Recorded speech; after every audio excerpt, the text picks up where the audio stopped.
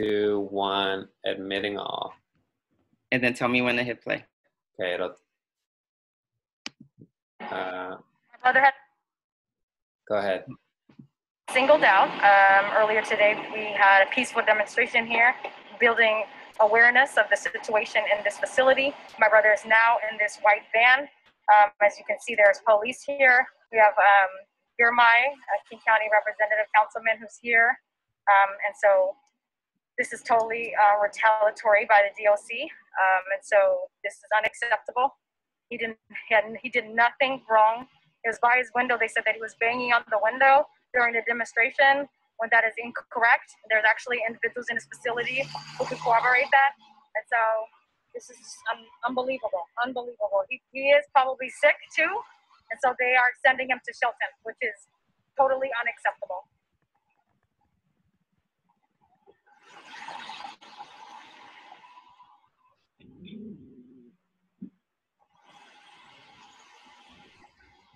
It's my family here.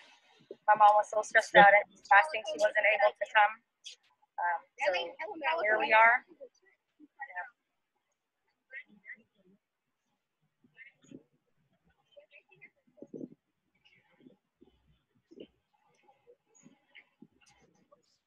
brother is right here in this in this van for no reason, man, for no reason.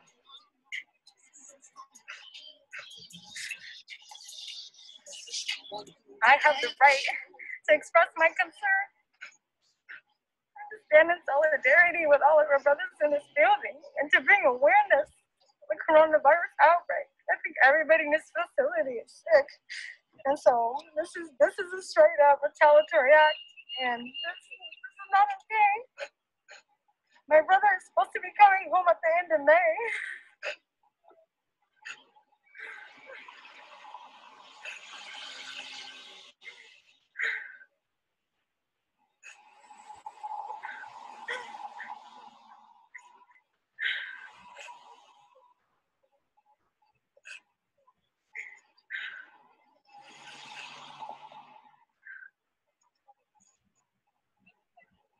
He did nothing wrong.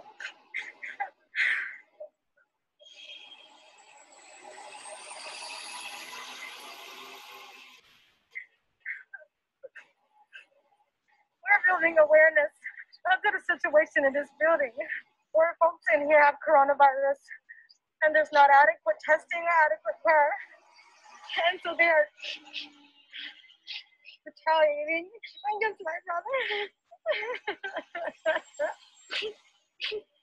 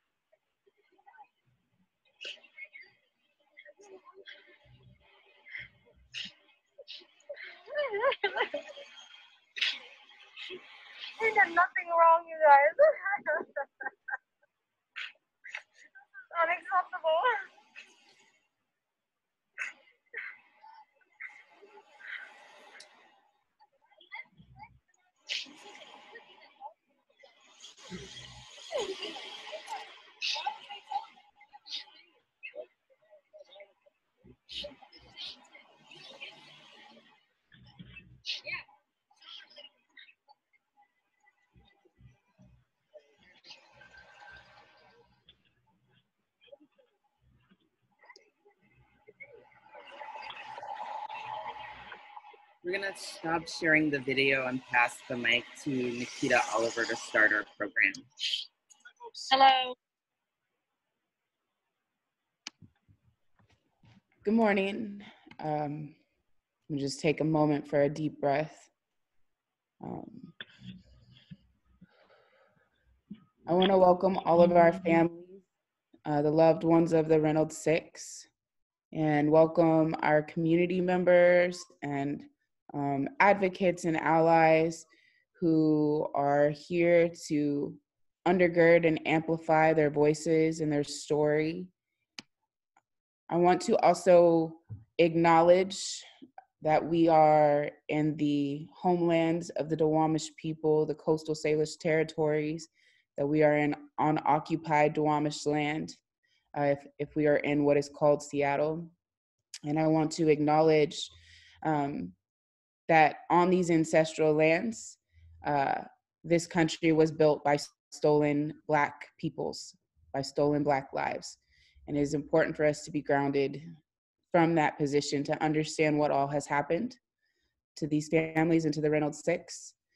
Uh, we're here to discuss uh, what the Reynolds Six families have suffered at the hands of the Department of Corrections and the retaliation that they've suffered um, by being a part of a community, by advocating and seeking safer conditions for their loved ones that are at Reynolds work release. And as a part of today's press conference, I'll be interviewing family members of the Reynolds Six. Um, and at the close of the morning's conversation, we will have a Q&A with select questions. So when we ask for a question and answer, please direct message those to me. My name is Nikita Oliver. You can find me in the in the chat feature. Um, if you go to the bottom of your screen, it'll allow you to do that. But please do not send questions until we ask for them. Otherwise, they may get lost uh, over the course of the hour, and I want to make sure um, I have the full breadth of questions to attempt to address. So, my name is Nikita Oliver. I'm a local community organizer, artist, and lawyer, and I will be the moderator for today. Uh, our day is going to begin and end with Black mothers advocating for their sons to challenge the Department of Corrections retaliation and to bring to light the COVID 19 crisis in prisons and ongoing racial violence directed at Black families due to mass incarceration and state sanctioned violence. But at the heart of what we're talking about today, that, that instead of joyful homecomings, the Department of Corrections caprice and racism means that they are often unchallenged at their abuse of power. And we want to uplift what can be done to bring justice to the Reynolds Six and their families, to maintain safer conditions for our loved ones during COVID 19, to stop the tearing apart of our families, and to stop wasting money on caging people, and instead find ways to reroute back in our communities. So I just want to once again let y'all know there will be a question and answer time period that will be at the end uh, of all of the family interviews and conversation with elected officials and community advocates. Please direct message those questions to me, but please wait until the time that we ask for them. Uh, we have a number of advocates and community leaders that have joined us in this struggle and uplifting the voices of the Reynolds Six and their families. And we recognize that this particular case, this incident, um, this particular injustice that is woven into many injustices is an interconnected issue. And to speak to that and help us um, understand the context and the framework of things, uh, we're going to hear from Anila Afzali. Thank you so much, Nikita. Uh, my name is Anila, and I'm the Executive Director of the American Muslim Empowerment Network at the Muslim Association of Puget Sound. Uh, and I'm here supporting the Reynolds Six families, six families who have had their hopes and aspirations of being reunited with their loved ones shattered over trumped up charges. These families come from Black, Muslim, and Indigenous communities. They feel the blows of structural racism every day. And today, you're going to hear about these six individuals who had been released from prison and were working on rebuilding their lives in the Reynolds Work Training Release Facility. They were about to be reunited with their families, but instead, on May Day, as you saw in the video that we played in the beginning, they got thrown back in prison with no real explanation of why or what their charges were, and no ability to speak to their loved ones. And let's be clear all this happened because a Black Muslim mother and her daughters in hijab had the audacity to call for safety for their loved one during a global pandemic. Instead of heeding that call, the son of that mother was thrown in prison, and the rest of the Reynolds Six were caught up as collateral damage as part of a dragnet. When I first heard about this case, I couldn't believe it.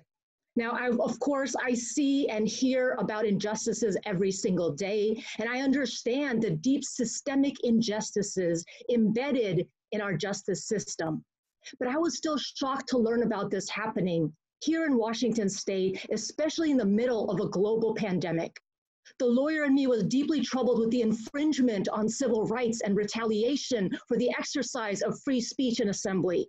The faith and community leader in me was deeply troubled with the public health risks and the carelessness with which these six men and others in prison and detention are treated when we have been working so hard with public health officials and even giving up our places of worship for over two months to help stop the spread of COVID 19. The Muslim in me was deeply troubled that all this happened during Ramadan, a time of spiritual reflection and celebration, and when some of the individuals were fasting and seemed to have been targeted.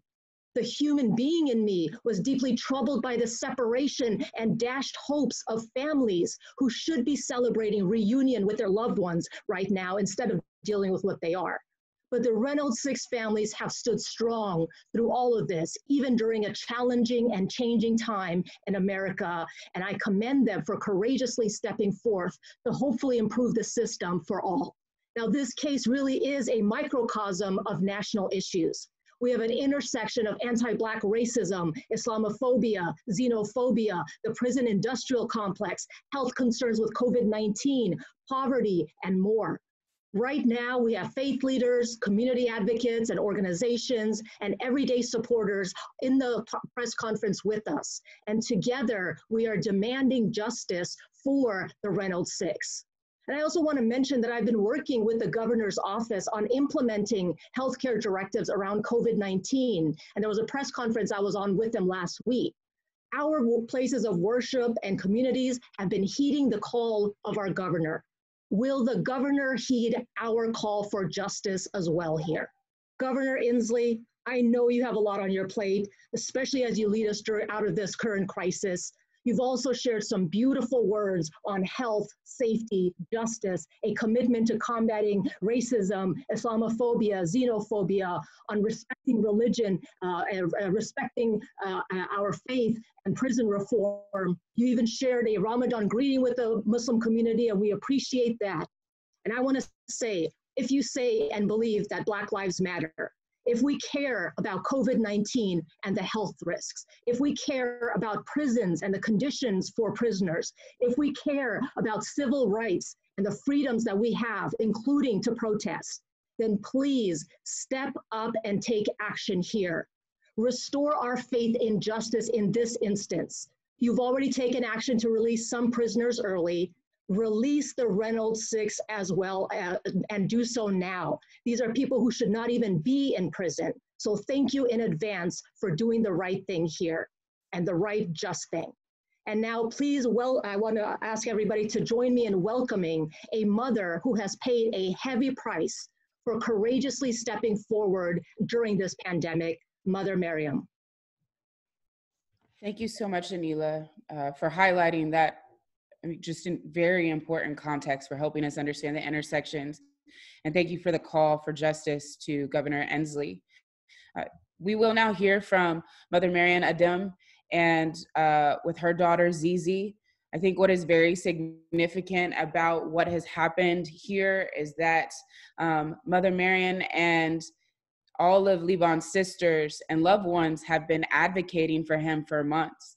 And on May 1st, when they were once again advocating and standing in solidarity with many other families and people, they saw a retaliation for that advocacy for their loved one. Mother Marian Adem, thank you so much for joining us with your daughter Zizi. Can you tell us a little more about what your concerns were around the conditions at Reynolds Work Release?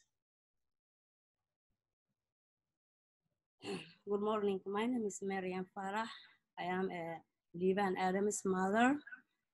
And uh, what I was concerning uh, was uh, what's going on there and what's going on on all the nation and all the world. I am mother. I was worried my son, which is gone like eight years in the prison, is qualified to come the work release in downtown. He was working he was doing anything, you know, like to come home and he's qualified. And what happened was that day, May 1st, everybody's come out for the rally. And we was talking i was concerning what's going on inside.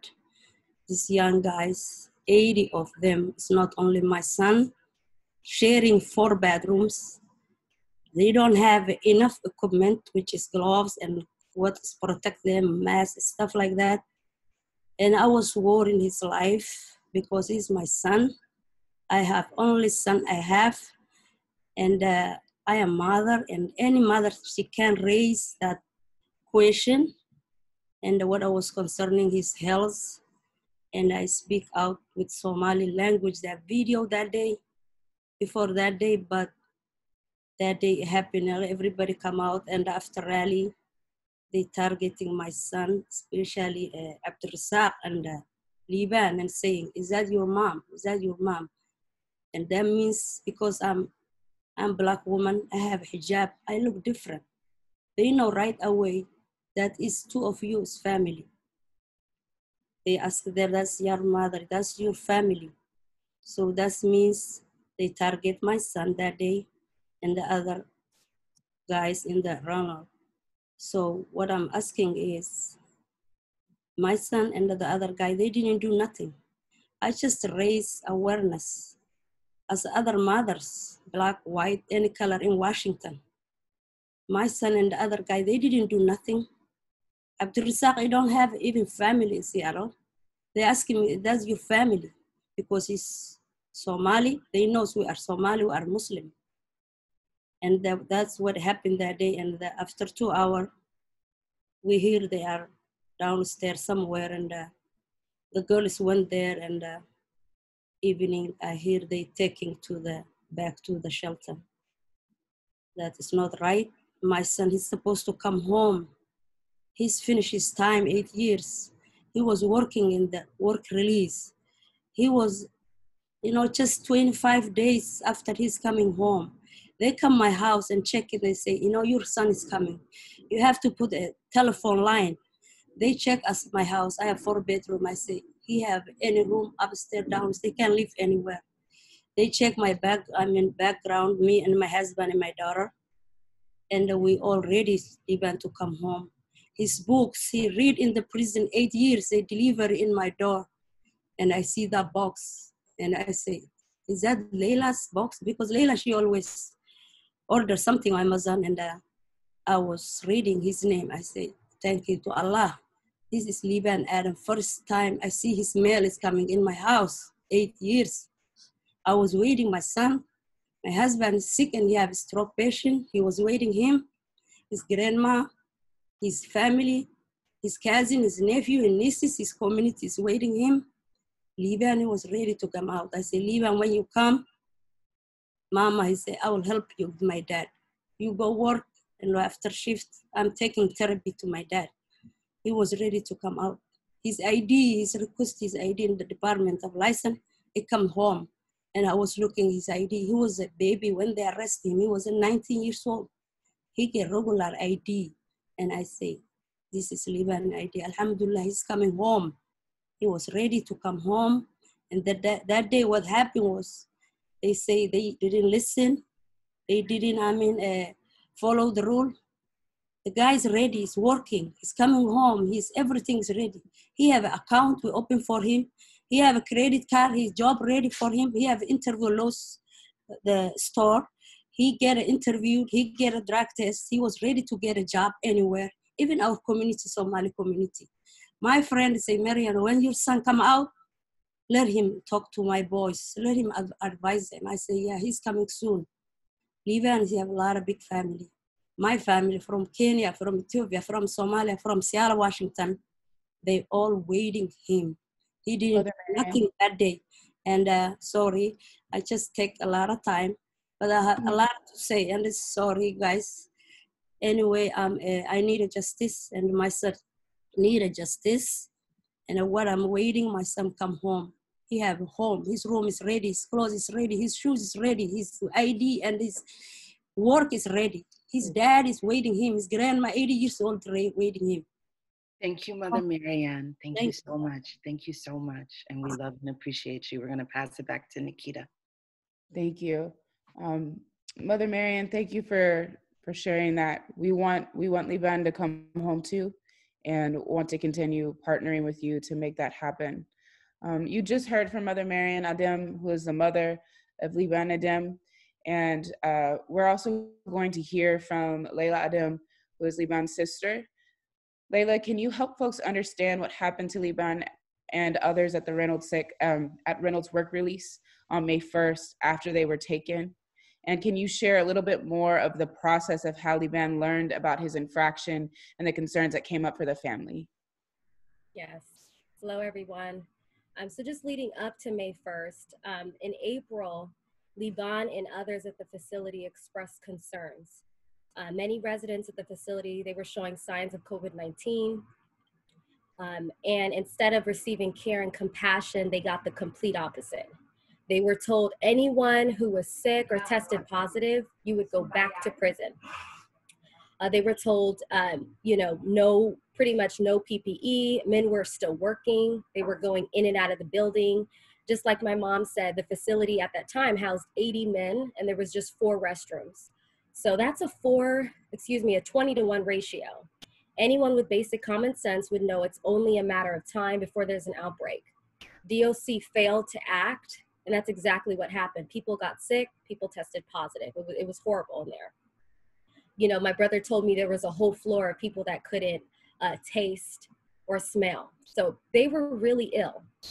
Um, on May 1st, there was a peaceful protest organized by community leaders, family to bring awareness to the conditions. That's, that's all we could do. My sister Ayan was actually one of the guest speakers. Later that day, we received a call from Liban's friend that said, Hey, Liban's been gone for a couple hours. There's a van outside. That's the van that takes people back to prison. Something's going on. And Liban didn't do anything. He didn't do anything. He stayed in his room. He wasn't trying to be a part of nothing. And something's going on. You guys need to come down here. So me and my family went down along with uh, Girmay, and we couldn't believe it. We knew Liban would never do anything to jeopardize his program. Keep in mind, this is someone at the age of 19 who was sentenced to eight years. He's 27 years old now. He was 30 days away from coming home. Why would, why would someone in the right man try to jeopardize that? So we knew something is completely off. This, this is not right. Um, so, you know, we did everything that we could to follow up. We sent emails, we, you know, were calling and just got very vague answers from DOC, you know, riotous behavior, banging on windows. It was just very vague. Um, and the, the gentleman did not get due process. They were placed in solitary confinement for days. Keep in mind, Liban was actually sick. He was fasting. This was during Ramadan he lost 20 pounds during this time. And it, it, just was completely ridiculous. Generally you know if you have a violation for people that may not know they'll let you know what it is that you did. You'll get something in writing but these guys didn't get anything you know. All, all five six of them at first were totally lost and confused at why they were being sent back to prison when they were so close to coming home. So about 21 days later um, from may 1st they received paperwork that they could look out for just tw- just 20 minutes. And for Liban, it was you use the restroom. That's why you, are sent back to prison is you use the restroom. You have about one more minute, Layla. Okay, okay. So, you know, and there's video footage as well to prove that Liban wasn't told he couldn't use the restroom. And they refused to use that in the hearing process, you know, to prove and put all of this to an end. So we're just really, really shocked about this whole process, and none of these men deserve this. We are hoping today that DOC steps up, you know, takes responsibility, take accountability of their actions, and just let them come home. It's all we ask for today. And thank you, everyone, for your time. Thank you, Layla. Um, and I just want to, first of all, tell all of our families we stand with you and we love you. And I apologize if I interrupt you it's just to try to keep us on track so we can get to a little bit of q&a at the end so i will do some interrupting just to, to move us forward and asking our speakers that come ahead to be mindful of time um, you've heard from liban adem's family and there are other families that we will hear from today. There are also uh, eyewitness accounts and uh, legal advocates that have been working on this, as well as elected officials.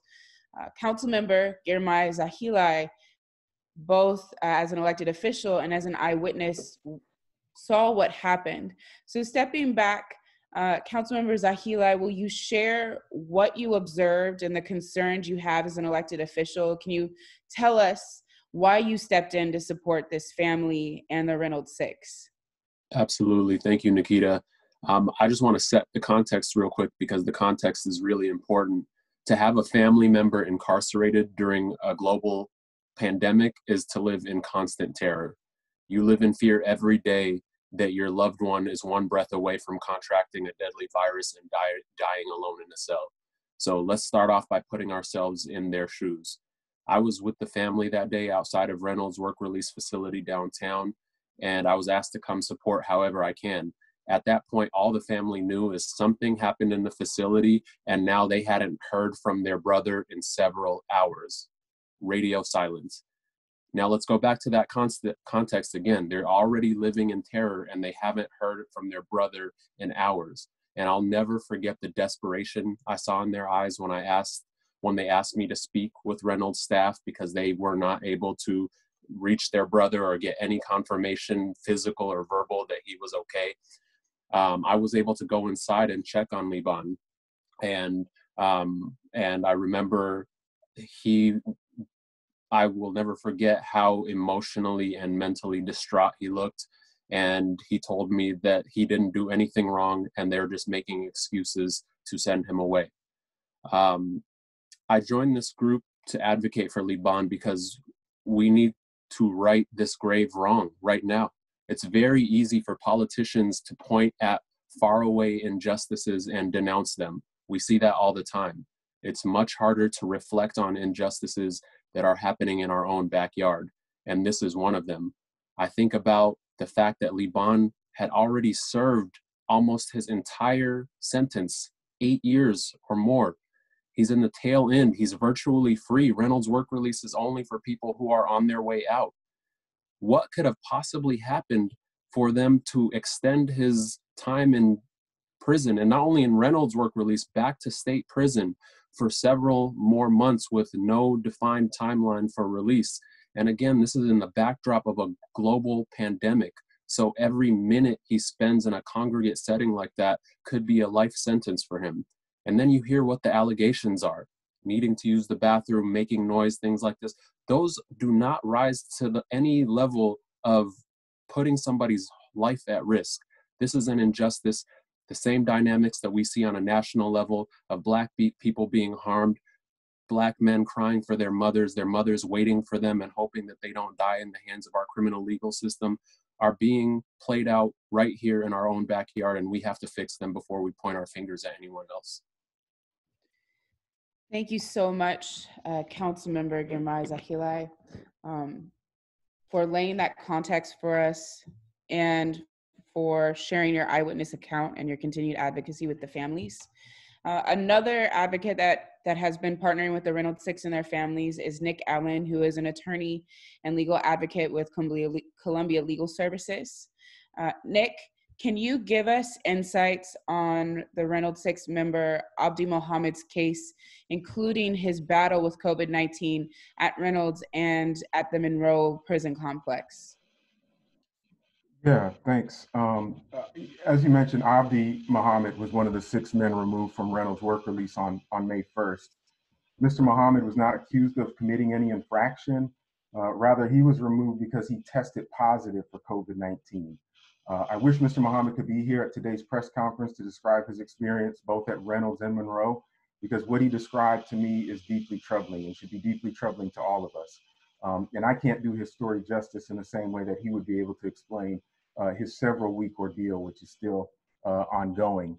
Uh, Mr. Muhammad was one of two Somali residents of Reynolds at the time, the other being Mr. Adam, uh, and was working at Reynolds, doing everything he needed to do to be on a quick path uh, to release back to the community when in April he began experiencing flu-like symptoms. Uh, due to these symptoms, he believed he may have contracted COVID-19 and he wanted to do the responsible thing and let staff and residents know as soon as possible, especially since he knew there were other residents in the facility that were particularly vulnerable to exposure to COVID. Uh, he told Reynolds staff about his symptoms and the need to be tested, but instead of working quickly to get Mr. Muhammad testing and informing other residents, uh, DOC delayed his access to testing. Uh, they told him to keep quiet about his symptoms. They put him on room restriction, but kept his roommate in the room with him, potentially exposing that person to COVID. They required him to continue to use the shared restroom facilities. They continued to tell him he wasn't sick with COVID, and they refused to provide him with any medication. Once he was tested, they tried to continue to conceal the results. They wrongly told him that the hospital would call DOC to inform Reynolds staff about his test results. When the hospital called with, uh, Reynolds uh, to speak with Mr. Muhammad, staff said he was not there, even though, as I mentioned earlier, he was in his room on restriction. When Mr. Muhammad finally contacted the hospital, they asked why he hadn't called back, told him that they needed to speak with him directly about his results due to privacy concerns, and then informed him that he tested positive for COVID. When Mr. Muhammad told staff that he tested positive, they told him stop saying that. Only when he got the hospital to send over a fax uh, to Reynolds were they finally forced to believe him. Even on the day of the de- uh, demonstration, while Mr. Muhammad was still in his room, problems continued. A sergeant came to his room and asked if those were his people rallying outside. The sergeant further antagonized him, telling him, You're not sick, and uh, explaining that he's creating a problem that could be seen as inciting a riot. When the demonstration was over, Mr. Muhammad was transferred to Monroe and placed in isolation. But rather than receiving any compassionate or humane care for treatment of this potentially deadly virus, he was thrown in a cell and mostly forgotten about. He was placed in isolation in the intensive management unit for 22 days. And during that time, he was on 24 hour lockdown with no time out of his cell. He was allowed one shower during those three weeks. He did not have a change of clothing. He did not receive any medication. He was not allowed to make any phone calls. He was deprived of anything to pass the time no TV, no books, no nothing. When he asked for a book, staff refused to provide one, telling him that he would contaminate it. His symptoms were extremely severe. He was vomiting, suffering from intense headaches, suffocating and having difficulty breathing, and he was scared he was going to die. His only human contact occurred once per day, and, and sometimes twice when nurses would come to check his temperature, but nobody would respond to his calls for help. When he pushed an emergency button, nothing. When he asked for help during the daily checks, they would tell him they were only there to check, check his temperature. The extended isolation, coupled with the effects of the virus, impacted Mr. Muhammad's mental health as he felt like he was going insane. Adding to these feelings was the fact that staff did not even want to look at him. According to him, he was treated as if he was less than human.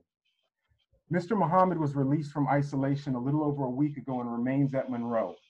Unfortunately, his story is not uncommon, as we have heard from other people in the prison who tested positive for COVID 19 and who have experienced similar circumstances in isolation. Instead of being treated like patients and receiving appropriate compassionate medical care, these individuals are punished for reporting their symptoms and contracting COVID 19.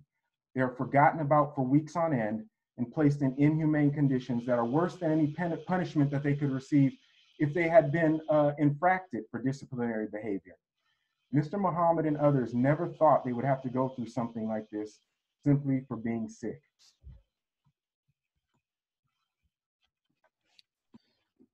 Thank you, Nick.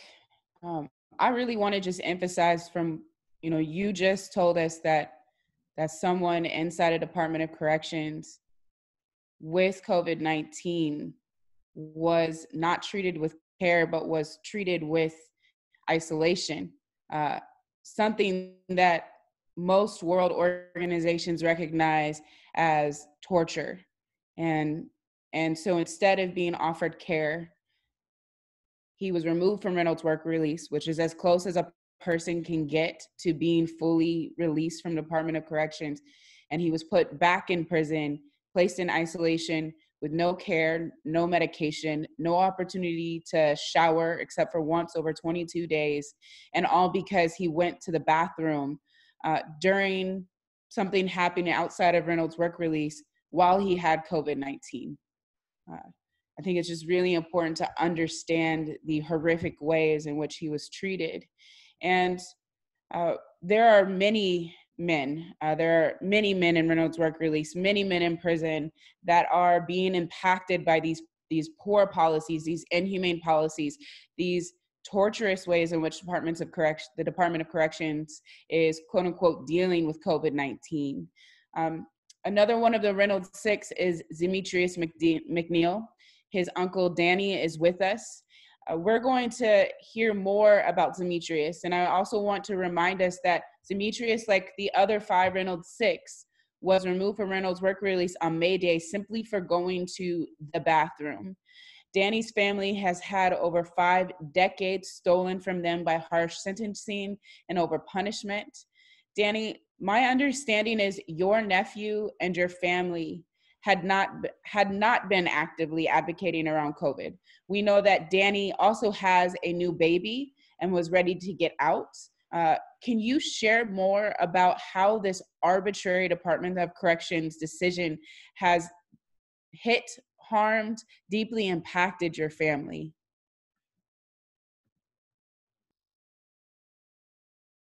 Is that me? Yes. Yes, it's you. Daniel's Dan, Daniel's uh, uncle, Daniel Kibbe's uncle. Did you say Demetrius? Yes, that's Demetrius McNeil. Hey, I'm I'm Daniel Kibbe's cousin. I mean nephew, uncle. I'm so nervous doing this. No worries, Danny. You got this. Um, I just got. I, first off, I would like to say, uh, God bless to all the mothers out there and and other family members who are going through this.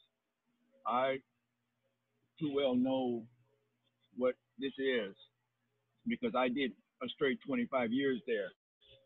So I know how the health system is. One of my Muslim brothers actually lost his toe because they didn't, they gave him inadequate care. Um, when I found out Daniel was going to work release, well, first when I he was locked up and I asked his mom if he was going to work release, I told her, have him give, give me a call and I'll get him a job where I'm at. I got him a job and his first day there, he impressed everybody. So, and he was looking forward to coming home to be with his wife and, and, and his children. You know, then a couple of days before he got a, got sent away, his address gets approved. So I don't, I, I know Daniel wouldn't do nothing to jeopardize that because from the time he started working there, I was in his ear. I was on him and I'm always I'm always gonna be in this corner, and I'm always gonna stay on top of him.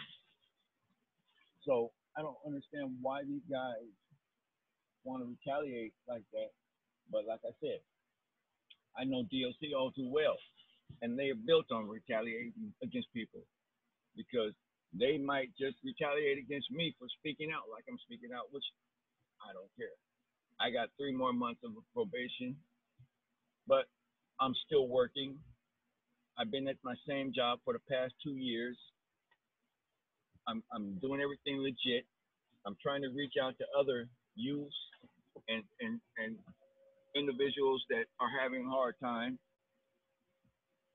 And it's not easy because I'm dealing with a sick wife who's recovering from a stroke. So my my time is work and taking care of her and myself and our pups. And my and my nephew's looking forward to getting out and coming home.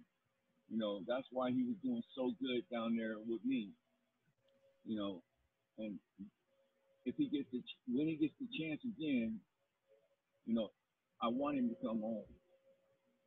You know, because it, it has impacted his mother. You know, because she not only has him to worry about, she has her other son, Leonis, to worry about, who's been down for almost 20 years.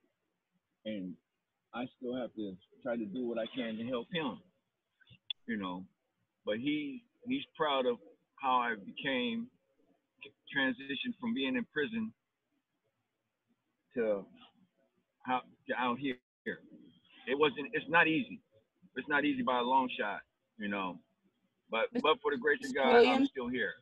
Can you share with us a little bit about uh, Danny's new baby and the situation that the Department of Corrections has created for your family in terms of him not being able to be home? You know, it, his, it, he has a beautiful, beautiful, beautiful baby.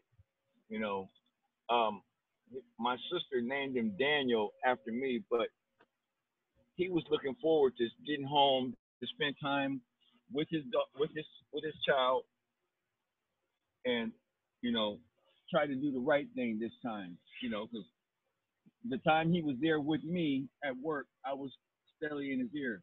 You know, you need to get away from that that negative stuff I said, even if I have to get you myself, I will, because I'd rather you be around me than be around some, some individuals that mean you no, no good. You know, I not only work one job, I got two jobs. I work two jobs. I try to stay busy. I try to keep myself busy because I know an idle mind is the devil's playground. So, uh, you can tell I'm kind of nervous. Uh, he, he he's a good person. He has a good heart, you know, and I'm I'm really worried about him and the rest, you know, due to the fact that I know how the healthcare system is in DOC. I know what they will and what they won't do for you. And it ain't what they will do for you. They will never do nothing for you except cage you up, lock you away, and hope nobody speaks out in your behalf. Thank you so much, Mr. Williams, for uh, sharing your story and for letting us letting us know about um,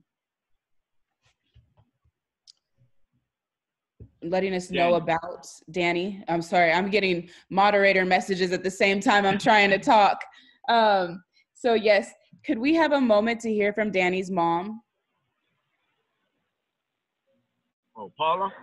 Hi, my name is, yeah, I'm Paula Smiley, my son Daniel Kibbe. He was subject, he was getting ready to be released too.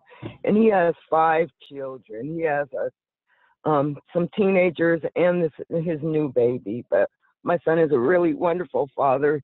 He didn't get in trouble with the law until he got a little older in life. But once they got a hold of him, they won't seem to let go of him. He's a wonderful person, he has a beautiful heart, and I just don't want him to catch anything while he's in there. And I thank you guys for everything that you're doing to help get my son out of there. I was trying not to be emotional, but I really, really appreciate everything you're doing. Like they said, I have another son that's been locked up for 20 years because I didn't have the money to pay for a lawyer for him. So we're praying for this my son, the youngest one, to get out as soon as possible. In Jesus' name, I pray. I thank you guys for everything for letting me in. I'm at work right now, and I'm on my. Um, they let me um, participate in this um, conversation, but I have to get back to work um, right now. So I um, thank you for letting me talk, and I really hate to get out of the um, conversation, but I got to keep my job. Thank you so so much, um, yeah, thank you for all that you're doing, and I'm praying for everybody's family member. And I really got to get back in here to work. So I just for want to acknowledge participate. Ms. Paula is an essential worker, and many of our families are on the front lines of, of this pandemic while also trying to figure out how to support their loved ones in the Department of Correction. So thank you, Ms. Paula, for taking the time uh, to be here with us today and to help shine light on what has happened to the Reynolds Six. Thank you, Mr. Williams. Uh, and I just want to clear up my moderator mess that I made. Um, Danny Williams and Miss Paula are family of Daniel Kibbe, and Sybil Grant is the mother of Demetrius McNeil. Next, we are going to hear from another mother, and Mother Brown has been an incredible partner with the other families in doing this work to get the Reynolds Six free. and she has uh, consistently reminded us of our goal and grounded us in our intention. Um, Mother Brown, your voice has been so strong and insistent that we need to bring the Reynolds Six home. Can you share some parting words for our, our listeners today about your experience fighting for fair treatment for your son with the other Reynolds Six families? Hi, this is Mother Brown, mother of Isaiah Thomas. First, giving honor and glory to God. My son was one of the six guys that got took to Shelton. He was only at Reynolds work release about two weeks. I lost contact with him around May the 1st. We're expecting him to come home, and then we don't hear from him. That was unusual. So I called the work release.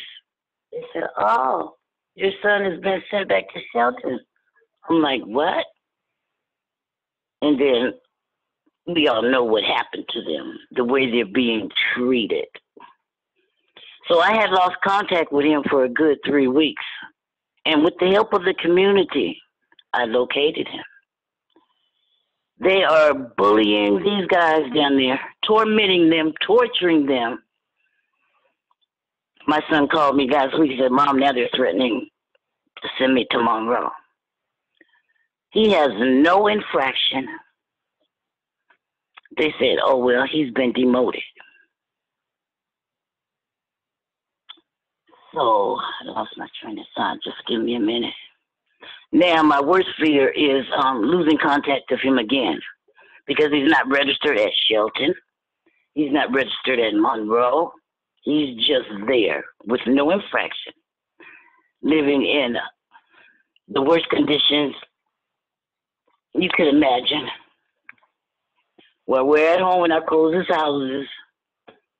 These guys are living, mm, I can't even say the words to describe it. When is enough enough? When they can't breathe. Their only crime is for them being black. Now they did their time, they served their sentence. If they was that mad at them, they should have sent them home. They're right on their way. But no, for no reason. When is enough enough? When is enough enough? This is it. I'm ready to sue. For all, I want justice for all Reynolds work release. All of them. Not just these six, because there's three stages. Some of them went to prison. Some of them are at work release, wherever that is and some of them are sick. And I demand justice for all of them. And I'm ready to sue for $100 million for each one of them, excluding the lawyer's fees. Thank you very much for hearing my story. Thank you so much, Mother Brown, uh, for being such a powerful, insistent voice and keeping us focused on uh, the goal and thinking also not just about the Reynolds Six, but all of the men in work release, all of the men in the Department of Corrections. It's so important that we understand what is happening to the Reynolds Six is really just a microcosm of the injustice of the of the mass incarceration system and the criminal punishment system, and this is just a reflection of of the injustices that Black peoples have been suffering within the United States for a very, very, very long time. Uh, we've also been working with uh, legislators and uh, in particular senate members of the color the the, the leaders of caucus color caucus. Um, and we have one of the co-chairs of the senate members of color caucus and they're going to speak to uh, specifically Senator Rebecca Saldana will speak to and give us a sense of what other electeds have been encouraging the departments of corrections to do and how they should be moving forward in regards to the Reynolds Six. Rebecca Saldana, can you can you open our eyes to the work that you all have been doing from your position as electeds? Thank you, Nikita, and thank you to the families who courageously share your stories with us today. uh, I just want to speak the names of the individuals that we are here particularly to focus our attention on. Mr. Isaiah Brown, Mr. Daniel Kibbe, Mr. Abdi Zakar Mohammed, Mr. Anthony Sams, Mr. Demetrius McNeil, and Mr. Liban Adam. Black Lives Matter, these six Black Lives Matter. As the co-chair of the members of Color Caucus, um, I think it's important just for a moment to recognize that we have no Black leadership in the Senate um, of our Washington state.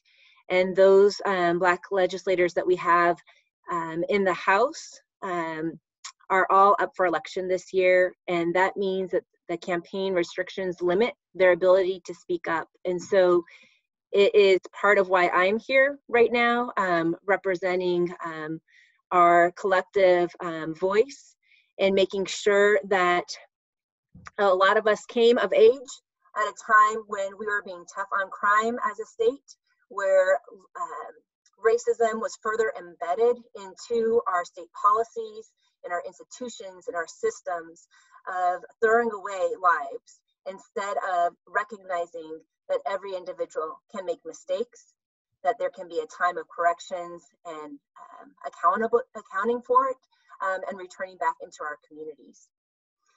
And so it's when this um, particular situation at Reynolds came to our attention, uh, we immediately reached out to the Department of Corrections Secretary Sinclair to ask for an accounting um, and uh, were dismayed to find that it took so long um, for anything to be put into writing, um, for any communication and clarity to be provided to the families and to the individuals, and that um, we are calling for the spirit of transparency and justice uh, to be um, it's the Department of Corrections um, that it's their responsibility to provide that um, and make sure that safety of individuals is the number one priority in this time of pandemic. And so, as was said, um, you know, by by this by the letter of the law, they're allowed up until two days before to be able to wait to be give, give it anything in writing to these individuals before they have to go before a hearing board without um, any representation um, and defend themselves, which is um, really made clear to me that we have more work to do um, in terms of policy change. Um, but in the meantime, we are calling on our Department of Corrections for leadership. And um, they have responded saying that they're willing to meet again with the individual family, the Adam family, um, and uh, we are in the midst of scheduling that meeting to happen. Uh, and we'll be working um, to make sure that all individuals and Reynolds are being protected. Uh, in terms of context, I think it's important to know that at least on the public record of Department of Corrections, that they have identified that there's two um, employees and uh, at least seven individuals that were found uh, positive with COVID-19. Um, and, um, and so that is on the public record. I think it is important for us to make sure that we are make, uh, getting clarity on um, what's happening to individuals when they um, are tested and found positive. And we will continue to um, stand with the families um, to seek release as soon as possible of these six individuals, but looking for much more permanent um, reforms uh, of how they are treating individuals um, when they are ill and how we are getting people out um, and holding um, our corrections accountable. Thank you so much, uh, Senator Saldana. Thank you to the elected officials that have been partnering with the families of the Reynolds Six and for the ways in which you have been using your platform and your access to elevate these concerns and to speak to other elected officials who do have power and authority to act immediately upon this. Uh, Anila called to the governor at the beginning of this press conference to to ask him to take direct and concise action to ensure that the Reynolds Six receive justice. So we, we thank you for your commitment to ensuring that we get what these men deserve, which is to be safe at home with their families, not sitting in cages for unjust reasons. Um, and to be frank, really what we need is care, not cages. We need compassion, not cages, especially as we are in the midst of this uh, global pandemic and this public health crisis. We know that it is not a matter of if we'll, if COVID-19 will hit our prisons. It's a matter of when. And we know based on this press conference, it already has. And we know that the Department of Corrections has not been transparent nor accountable about how bad the crisis is in the Department of Corrections. Um, we have we have some demands, and at the very beginning, we played a video of the men being removed from Reynolds' work release. And um, you heard the voice in that video crying, uh, obviously feeling immense hurt and fear, is the sister of Liban Adem, uh, Ayan Adem. And we want to close out with the family's call to action. Ayan, can you share with us what's on your heart and where you would like to see things go. During a deadly pandemic, our loved ones were sent from work release to prison for just using the bathroom. Just hours after a peaceful rally, which I spoke at, demanding for safe and healthy conditions inside. Reynolds was also under a 14 day quarantine to a coronavirus outbreak inside, which was our worst fear as a family. The situation in Reynolds was even more alarming when we found out that our loved ones were sick but they were scared to share with DOC staff due to the ongoing threats and intimidations that they would be sent back to prison if they tested positive. Our loved ones did not ask for the coronavirus. They served their time and would do nothing to jeopardize going back to prison. They worked so hard to get to where they were. They were happy to finally be home, closer to their loved ones, back in their communities, working, taking the bus. I remember how happy my baby brother was when he when he got his Washington state ID. So instead of lifting these men up, DOC decided to retaliate against them. They put them in harm's way, snatching them away from their communities, violating their rights to due process and our rights to free speech. They saw me, a Black Muslim woman, speaking on behalf of my brother, who I didn't even name. They immediately detained two Black Muslims and sent them off to prison hours later. We believe that additional people, my additional brothers, may simply have been casualties of Reynolds staff covering their tracks for retaliating against my speech. Our loved ones were sent to prison just hours after a peaceful rally outside of Reynolds. This was clear retaliation.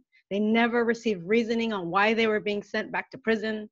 Generally, if there's a work release violation, a hearing takes place at the work release facility. Instead, they were cuffed up, put in a white van, sent to prison in the midst of a pandemic.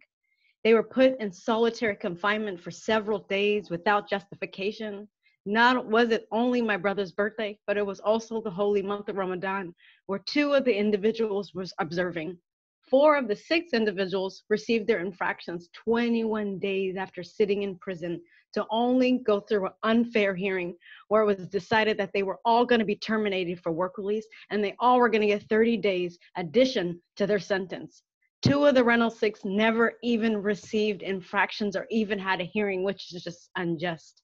Nobody should go through that. Since May 1st, we heard a range of allegations from DOC, including riotous behavior, to participating in a disturbance, to yelling and banging at a window, and finally, it just resulted in them using the bathroom, which is their right. There's an actual DOC policy. So this was just wrong on so many levels. This was traumatizing for the Reynolds Six and their loved ones. No one should be punished for being sick. No one should be punished for advocating for their rights, and no one should be punished for using the bathroom. As concerned family members of the Reynolds Six, and with very heavy hearts, we are asking for the immediate release of our loved ones. They did not deserve this. We did not deserve this. We are demanding accountability and the end to senseless retaliation in DOC. We demand the safeguarding of due process rights for those individuals who are having administrative hearings. Lastly, as concerned family members of the Reynolds Six, we are also demanding safe, healthy, and humane treatment for those in DOC custody, especially during this deadly pandemic. We also recently learned that DOC wants to send our loved ones to Monroe Correctional Facility, where a CO, a correction officer, most recently died We are asking that DOC do not send our loved ones to this facility. As loved ones of Reynolds 6, we're asking for justice. We are asking for accountability. We're asking for safer conditions. And we are asking for the immediate release of our loved ones. Thank you so much, Layla, uh, or excuse me, Ayan, for for sharing those demands, for your tireless fight and effort. Uh, can you tell just remind us all the first day you all started advocating for Liban and the men at Reynolds Six? What was the first day that you all were out? Yeah, the first day we were out, um, was honestly it was an, an, an, we started messaging in march right when the coronavirus happened but the first day we were out was april 11th there was a, some other families that organized. We were outside. Um, we had a peaceful rally just saying you know please governor consider releasing these individuals because a week later a week before they had to release 60 individuals from king county jail. So we said please just release our loved ones. We released a video of my mother speaking in somali just saying please have my son come home. You know we've, we've sent oh so many emails so many calls so many pleas you know uh, we tried literally everything and, and this started you know in march. We saw this happening. This was our worst nightmare. Our loved ones served their sentence. We didn't want them dying of the coronavirus because the lack of, of, of following public health guidelines. This was our fear and this happened. And not only did it did they probably get coronavirus because my brother lost 20 pounds they were sent to prison. And now they're saying you you can't go back to work release. And so yeah, we've been advocating. We tried every single thing, every avenue possible. This is this is where we're at now. Thank you. So since March, uh, this family has been advocating for their loved one. It is now June 4th. And rather than having Liban and the other Reynolds Six home safe, they are back in prison for using the restroom. I think that that is the salient point that these men are back in prison in the midst of COVID 19 for using the restroom. Uh, some of whom did not even receive an explicit infraction, like Isaiah Thomas. Um, some of whom's families were not actively out advocating, but all six of these men are suffering the consequences of the Department of Corrections failure to effectively respond during COVID 19 to the Department of Corrections racism and white supremacy, xenophobia, Islamophobia. And so we are here together as as allies and accomplices partnering with these families to uplift, undergird, and amplify their message and their demand for justice. So we'll open uh, it up for some question and answer. We are a little bit over time, but you are welcome to send me a private message, and at which point I will uh, ask the question and direct it to the right person or family member.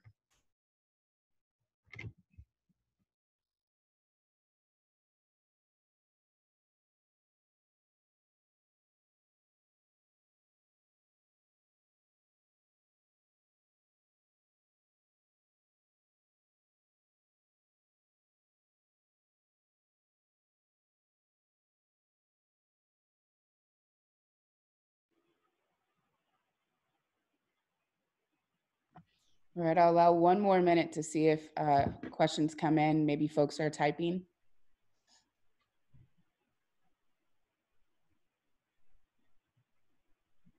Nikita, I got a question. Uh, folks ask, who should we write to to advocate for their release? Thank you, Anila. Uh, sorry, I should direct it. You asked it. Uh, who should we write to? Uh, I'll start first with asking our elected officials and our community advocates who have been uh, working towards amplifying the voices of the families within the institution. Can you all speak to some people that should be written to?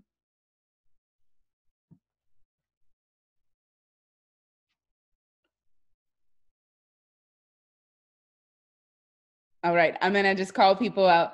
Uh, Nick Allen, can you speak to some folks that you think should be written to?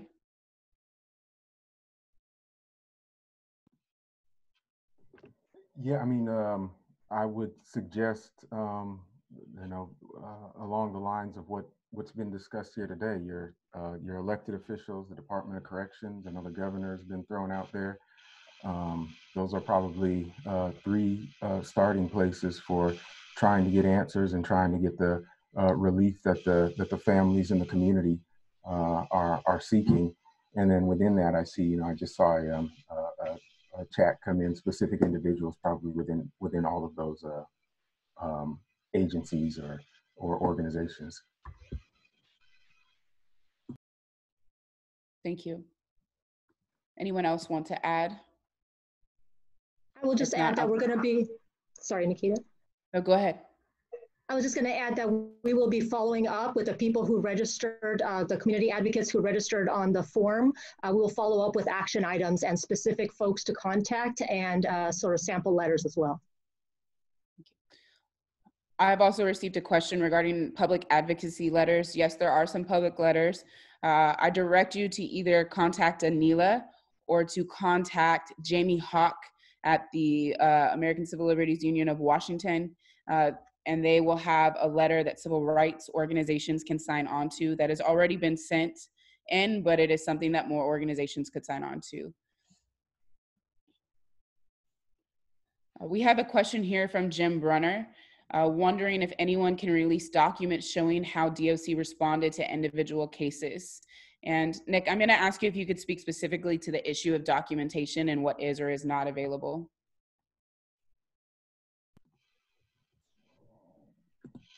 So we don't have any documentation right now um, uh, with regards to the major infraction reports, the discovery uh, packet that is served um, along with the infraction, uh, the hearing officer decision, um, and uh, trying to access that information um, so that we can review that. But, but we don't have access to it right now.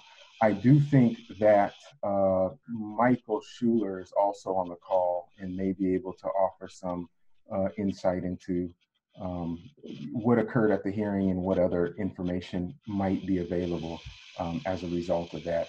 Uh, the other thing that's of course out there is um, is the the video footage, um, which none of the individuals were allowed to use at their hearings, even though there's um, a number of cameras throughout uh, the the work release facility um, in which all of the individuals have uh, said they could use to uh, exonerate them um, uh, uh, in a finding of uh, guilt uh, at the infraction hearings. Thank you. Uh, if someone from our organizing body could please put the names of all of the Reynolds Six in the chat, that would be helpful for people wanting to write to the governor and advocate for them. Uh, I have a question regarding whether or not there is a fund to support the Reynolds Six. I believe that is in process, and as that is developed, uh, we'll post it publicly with COVID 19 Mutual Aid Seattle, which can be found on Instagram and Facebook, as well as has a website. If someone could also post that in the chat. I will just add that my office has also explicitly um, put in writing and request for um, access to the video footage, to the discovery um, pack materials um, on behalf of the Adem, uh, Adem family, and um, that we um, are continuing to follow up um, with the Department of Corrections. They have said that they are currently reviewing that footage to see um, how they can release it through public information. so we will continue to follow up on those particular pieces of evidence and materials. Thank you so much, Senator Saldana. Uh, another question directed specifically at the, the senator is, have you all spoken with Governor Inslee and what has been the outcome of that?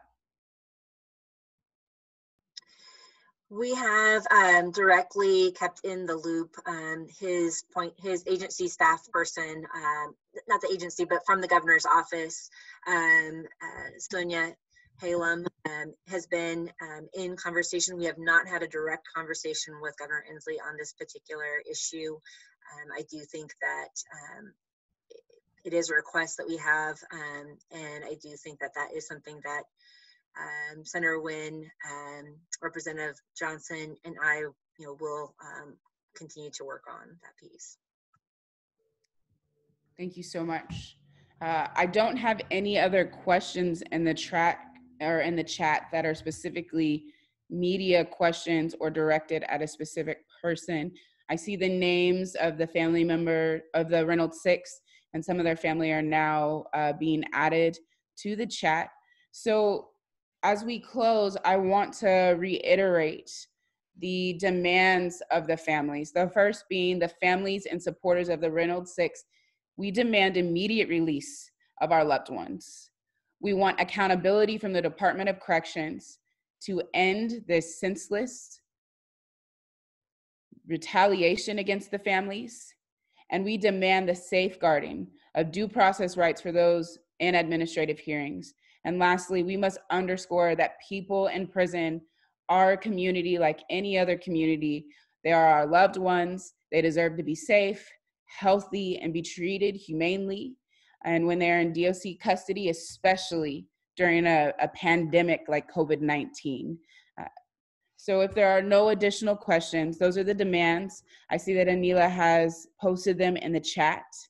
And uh, I'm hoping that we can get those out. They'll probably be on the COVID 19 uh, Facebook and Instagram. They should also be present in uh, the press release. If they are not, we can send out a press update or a press advisory with those demands that you all have written access to them. Uh, feel free to email or call our press contact or reach out to Columbia Legal Services or Council Member Girmay Zahilay's office. Uh, they have helped us organize this press conference today and are uh, supporting the Reynolds Six and their families as we move through this process. Thank you. Thank you. Thank you. And I'll remain on the call for a little bit as we close out if there are other needs or questions. Thank you, everybody. Thank you so much, Nikita. Thank you. Thank you. I will be in touch with you guys and let you know about me and uh, how Paula's doing, because I know she sounded kind of emotional. She worries about her son.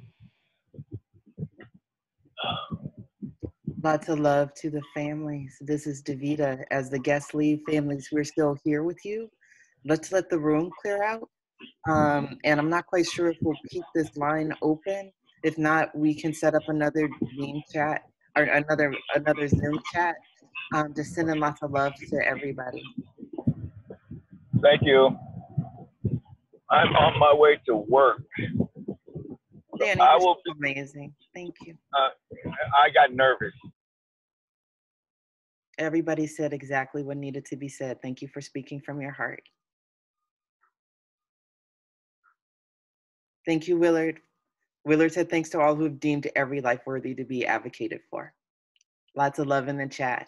Danny, don't read the chat because you're driving. but we're glad to ride with you. And for everybody who helped behind the scenes, thank you, thank you, thank you, thank you, thank you. Thank you so much for having us. Yes. And for families who did not get a chance to speak, um, just know that the organizers are still here to support you. We are going to be immediately following up with calls to action. So please don't worry. We're still here. And if we could stop recording, that might be good.